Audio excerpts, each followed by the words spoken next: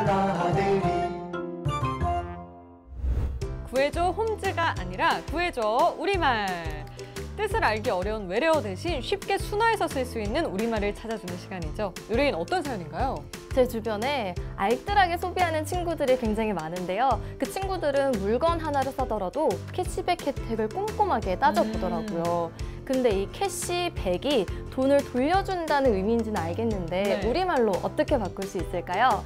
네, 우리말 구해주겠습니다. 캐시백은 물건을 구입하거나 서비스를 이용한 고객에게 일정 금액을 적립해주는 제도 또는 그렇게 적립된 돈을 가리키는데요. 캐시백은 모아서 쌓아둔 돈을 뜻하는 우리말 적립금으로 다듬을 수 있습니다. 어때요? 원하는 우리말 찾으셨나요? 네, 캐시백보다 적립금이라고 하니까 헷갈리지 않아서 좋아요. 네, 적립금을 잘 챙겨야 하는 것처럼 우리말도 잘 챙겨 쓰는 건 어떨까요? la